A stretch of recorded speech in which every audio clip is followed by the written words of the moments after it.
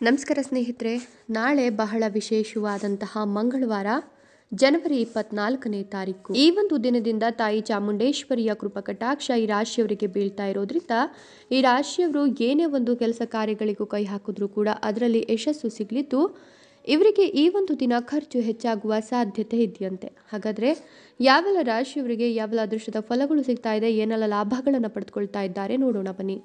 ಅದಕ್ಕಿಂತ ಮೊದಲು ನೀವು ಕೂಡ ತಾಯಿ ಚಾಮುಂಡೇಶ್ವರಿ ದೇವಿಯ ಭಕ್ತರಾಗಿದ್ದರೆ ಈಗಲೇ ವಿಡಿಯೋಗೊಂದು ಲೈಕ್ ಕೊಟ್ಟು, ತಪ್ಪದೆ ನಮ್ಮ ಚಾನಲನ್ನು ಸಬ್ಸ್ಕ್ರೈಬ್ ಮಾಡ್ಕೊಳ್ಳಿ. ಹಾಗೆ ವಿಶೇಷ ಪ್ರಕಟಣೆ. ಶ್ರೀ ಸಿಗಂದೂರು ಚೌಡೇಶ್ವರಿ ಜ್ಯೋತಿಷ್ಯಾಲಯ, ಹೊರನಾಡು ಅನ್ನಪೂರ್ಣೇಶ್ವರಿ ದೇವಿಯ ಆರಾಧಕರು, ವಶೀಕರಣ ಸ್ಪೆಷಲಿಸ್ಟ್ ಶ್ರೀ ಪಂಡಿತ್ ಶಶಿಧರ್ ಭಟ್, ಪ್ರೇಮ ವಿಚಾರ, ಪ್ರೀತಿಯಲ್ಲಿ ಮೋಸ, ಉದ್ಯೋಗ, ವ್ಯಾಪಾರ, ಹಣಕಾಸು ಇನ್ನೂ ಅನೇಕ ಕಠಿಣ ಸಮಸ್ಯೆಗಳಿಗೆ ಶಾಶ್ವತ ಪರಿಹಾರ ಮಾಡಿಕೊಡಲಾಗ್ತದೆ.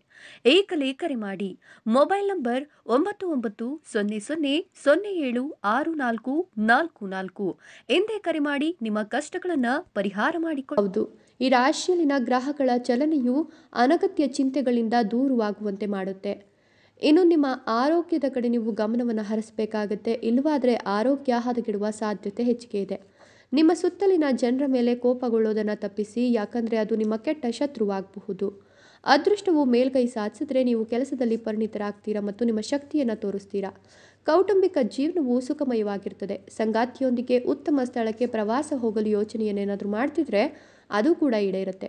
ಈ ರಾಶಿಯವರ ಖರ್ಚುಗಳಲ್ಲಿ ಸ್ವಲ್ಪ ಕಾಳಜಿ ವಹಿಸಬೇಕು ಇಲ್ಲದಿದ್ದರೆ ಆರ್ಥಿಕ ಪರಿಸ್ಥಿತಿ ಹದಗೆಡಬಹುದು.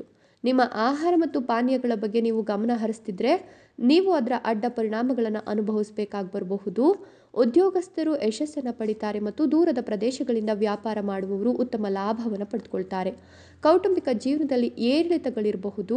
ಪ್ರೀತಿಯ ಜೀವನದಲ್ಲಿ ಇರೋರಿಗೆ ಈ ದಿನ ತುಂಬ ಅನುಕೂಲಕರವಾಗಿರ್ತದೆ. ಆದರೆ ಕೆಲವು ಕಾರಣಗಳಿಂದ ವೈವಾಹಿಕ ಜೀವನದಲ್ಲಿ ಉದ್ವಿಗ್ನತೆ ಉಂಟಾಗಬಹುದು.